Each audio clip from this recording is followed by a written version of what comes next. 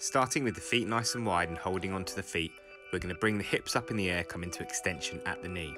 Look right up to the ceiling at the bottom of the movement, pulling the shoulders back. On all fours with a neutral spine alignment, we're going to bring the knee out to the side and draw a circle with that knee. Keep the hips and shoulders square to the floor. Move into a plank position, bring the knee forward between the hands, bring the chest up and lower the body down so the weight's coming through the hips and through that glute. From a standing position, take a nice wide stance and transfer the weight from side to side, opening up the hips as you go. Keep the chest up and shoulders back. Lying flat on your back, bring one leg up in the air and push your hips up using one foot. We want to come up into a bridge position, squeezing the glutes at the top.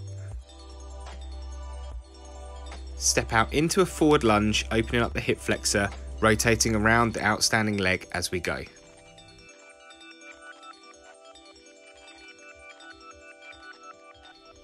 Starting with feet hip width apart, we're going to bring the hips back, propel the kettlebell forward using the hips, keeping the lats locked and the shoulders depressed at all times.